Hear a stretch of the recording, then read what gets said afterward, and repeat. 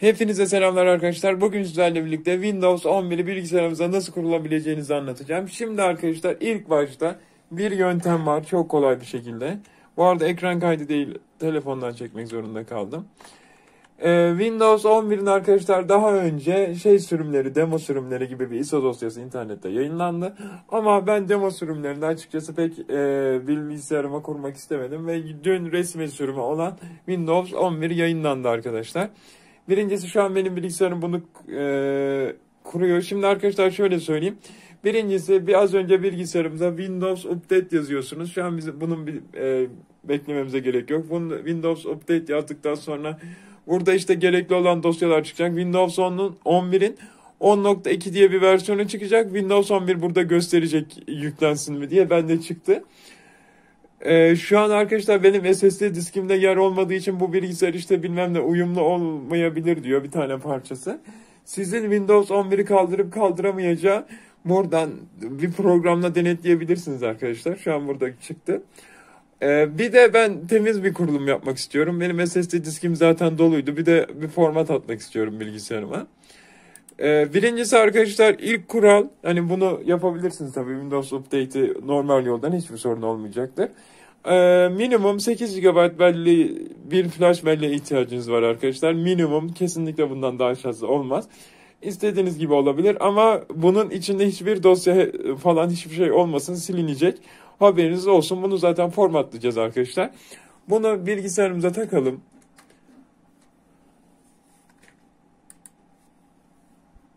Burası okumadı. Şu an görmüş olduğunuz gibi bir bilgisayarım okudu. Ve şu an flash belleğim bu arkadaşlar. Buradan biçimlendir diyorum. Hızlı biçimlendir seçtim. Tamam dedim. Flash belleğimize temiz bir format atalım. Eski çok kötü de bir flash bellek kullanmayın.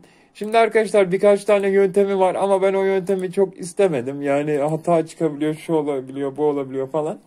Şimdi açıklamalar kısmında bir tane program var. Bu programla file, e, kuracağız. E, açıklamalar kısmına girin. Rufus'u kurun arkadaşlar burada. Kurduktan sonra tekrar açıklamalar kısmına girin. Windows 11'in ISO dosyasını indireceğiz. Microsoft'tan. E, ve burada görmüş olduğunuz gibi ISO dosyası var. E, burada Windows 11'i seçin. E, indir diyelim. Ve Burada direkt hangi dil e, istediğini söylüyor. Türkçeyi seçelim. Burada onayla diyoruz. 64 bit indir yazıyor. 64 bit indir dediğimiz zaman şu an benim bilgisayarıma 64 bit iniyor arkadaşlar görmüş olduğunuz gibi. İndikten sonra hep birlikte görüşelim. Evet arkadaşlar Rufus programına geldik ana menüde. Şurada seçmek istediğiniz özellikler var. Bu bilgisayardan bilgisayara göre değişir. Bunu ayarlardan Windows R yaparak da araştırabilirsiniz. Burada Umut bunun flash belleğin hızını biliyor musun? Varsayılan olarak böyle diyor. Neyse biz varsayılan, varsayılan olarak değiştirelim. Bu NFT5 programı olarak. Arkadaşlar direkt şuradan seç diyorsunuz. Ben az önce seçmişim. Görmüş olduğunuz gibi şurada açıklama kısmında indir dediğim e, Windows Microsoft'tan indir dediğim 4.8 GB'lık şey indirildi. Seçtikten sonra masaüstü sekmesinden veya indirilen sekmesinden nereye atadıysanız orada çıkar. Ben masaüstü sekmesine atamıştım. Aç dedim. Görmüş olduğunuz gibi gene aynısı başladı. Bu ortalama yarım saat civarında sürüyor arkadaşlar. Ortalama yani bir Windows kurulumunda bir saat sürüyor. Başlat diyelim. Şu anda da flash belleğe yazıyor. Devamına geçelim. Arkadaşlar programı yükledikten sonra BIOS tuşunuzu kendi bilgisayarınıza göre F2, F8, F12, e, belki F4 veya hangi tuşsa arkadaşlar. Benim BIOS tuşum Denate. Ben Danate'de açıyorum. BIOS'u açtıktan sonra arkadaşlar bilgisayardan bilgisayara göre değiştirecektir ama size bir tane sorundan bahsedeceğim. 2.0 hatası. Bu FTTT hatası. Ee, bir işte Adventure Fast Neydi bu? Arkadaşlar o hatayı e, YouTube kanalımda videosunu çek çektim şu an. Lütfen gidip oradan izleyin. Şurada burada bir yerdeydi de neredeydi? Şuradaydı sanırım. Bakın e, şu anda da o hatayı ayrıca bir video çekeceğim de. security işte bilmem ne. Neyse arkadaşlar buradan boot seçeneğine basın. Dediğim gibi sizde farklı bir şey olabilir. Ben şu an hatta Windows 11'i kurdum. Şöyle söyleyeyim size. Ee, kendi flash belleğinize basın. Ya direkt kolay yöntemi söyleyeyim. Şu an hatta ben size bilgisayarı kapatayım. Buradan flash belleğinizi seçin boot seçeneğinden. Ama ben eriniyorum açıkçası. Komple ya F8 ya bir tuştan otomatik olarak diskin yönettiği tuşu açabilir. Büyük ihtimal F8.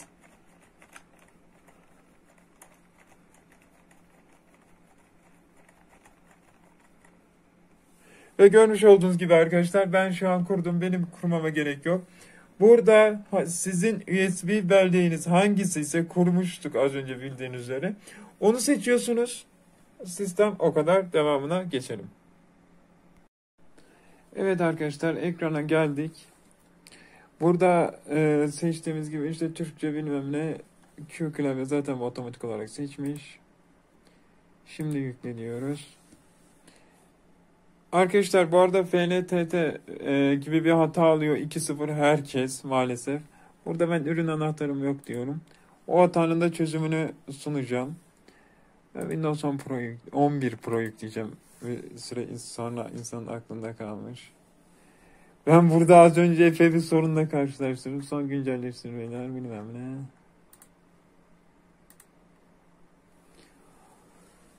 Ee, yükselt Windows, yükselt dosyaları, ayarları ve uygulamaları koru. Arkadaşlar burada şöyle bir durum. Ee, isterseniz siz işte ayarları koruyabilirsiniz. Şu an Windows'ta bir işletim sisteminiz varsa işte dosyalarınız bilmem ne.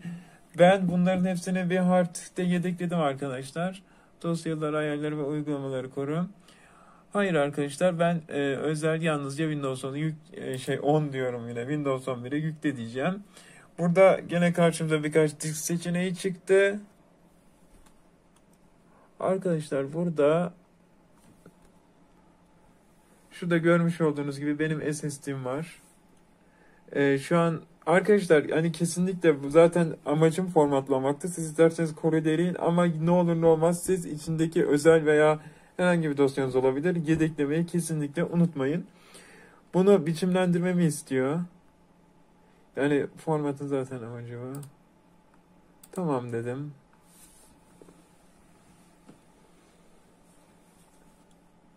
Biçimlendirdikten sonra sonraki diyoruz.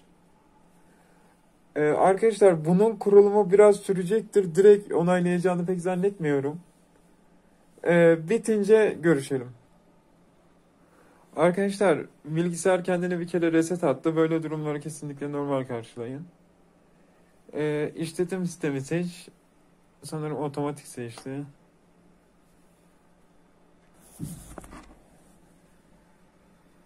Karşımıza böyle bir ekran çıktı. Biraz bekleyin diyor.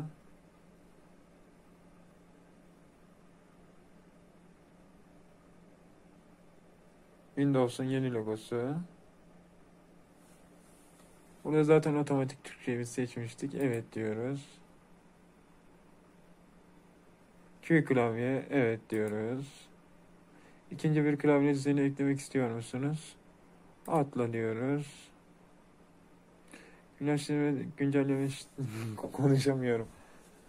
Güncelleme nereden ekleniyor? Diyor. Arkadaşlar dediğim gibi bu sürüm demo sürümü değil. Microsoft'un artık e, yani birkaç ay önce Windows 11 çıktı ama Windows 11'in genelde ISO'sunun demo sürümleri vardı. Çok hatalar vardı. Ben de Windows 11'i o zaman geçememiştim. Ve Windows 10'la ilk çıktığı zaman ben Windows 10'u ilk kullanan insanlardan biriydim. Windows 11'de demo değil de bu şekilde kurmak daha çok mantığıma yattı. Yani bir tane sorun arkadaşlar istediğiniz sorunu yorum kısmına yazmayı unutmayın. İnternet site, yani ben direkt ulaşamazsam da direkt çözümler internet sitesinde var. Bu arada bunun sistem gereksinimleri var Windows 11'in. Onun da altını çizeyim. Arkadaşlar 4 GB RAM'e ihtiyaç varmış. 64 GB bir depolamaya ihtiyacı varmış. 1 GB'ın üzerinde 1, 1 GB ve 1 GB'ın üzerinde bir işlemciye ihtiyaç varmış. Benim ve e, bir ekran kartı, bir de DirectX 12 ekran kartına ihtiyacınız varmış. Benim sistem ihtiyaçlarını komple hepsini karşılıyor ancak bende gene dedi ki sisteminiz karşılamıyor. Bunu e, bir DSS mi ne arkadaşlar bu sorun çıktı. Bilmem ne 2.0 sorunu çıktı. Windows'un kendi şeyinden e, kullanabilirsiniz siz. Bilgisayarım destekliyor mu desteklemiyor mu onu da açıklamalar kısmına koyarım. Şu etsin hemen gelelim. Burada bitti. Bilgisayarınızı adlandırın dedi. Burada ben de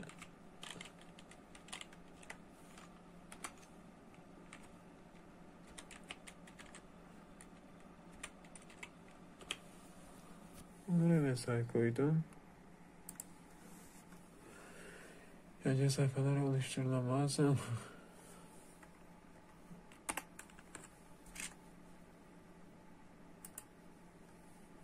Biraz bekleyin. Ve ben de ilk kez arkadaşlar Windows 11'e geçiyorum. Ben de Windows işletim sistemini seviyorum. Ama Windows 10 hatta 7'yi çok sevmiyordum açıkçası. 8'den nefret eden bir insandım.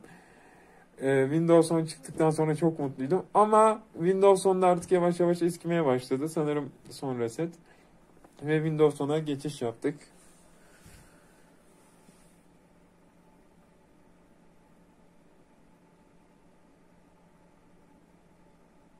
Yine biri soru soracak mı? Arkadaşlar şöyle de bir önerim var. Lütfen bilgisayarınızda SSD hard diske de kurabilirsiniz ama e, Windows 10 veya 11 veya 7 hangi işletim sistemini kullanmak istiyorsanız e, SSD'ye kurun. Çünkü gerçekten arada çok büyük bir fark var. Bu cihazı nasıl ayarlamak istersiniz? Kişisel kullanım yönelimi ayarlamak iş ve kişisel olarak seçelim. Ve şunu da sanırım e, mikroses hesabı ileri